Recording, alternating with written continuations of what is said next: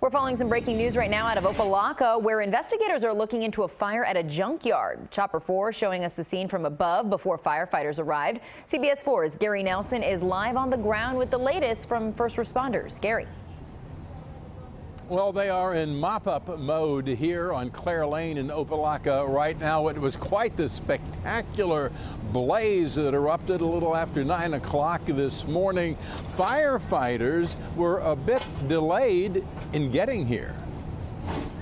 Flames shot high in the morning air at the quadruple A car recycling plant in Opa-locka. The blaze erupting about 9.30 when workers using a welding torch sparked it up.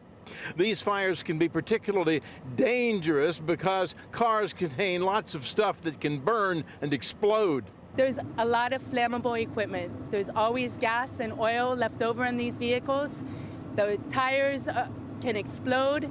Uh, the, the contaminants, the carcinogens that the kind of fire puts out the owner of the junk lot says help was seriously delayed by the roadway that's unpaved with lots of deep holes and mud. The firefighter, they take too long to get in here because the condition of the street if no asking to the firefighter, they get, they take too long to get in here because the street. But you can tell uh, with your own video that I'm sure you shot of the road conditions that it is in pretty bad conditions, and our large pieces of fire equipment do have a difficult time accessing. The owner hasn't gauged his losses yet, but junked cars are worth the sum of their parts, which can amount to a pretty penny.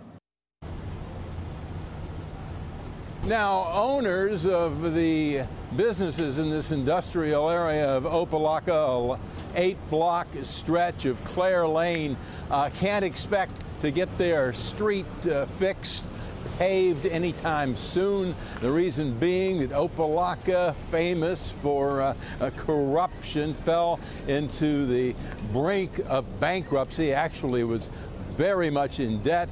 A couple of years ago, the governor had to appoint a special board to come in and run the city that at the moment pretty much doesn't have two nickels to rub together. So paving the roads are going to have to wait. We're live in Opa-locka. Gary Nelson, CBS 4 News.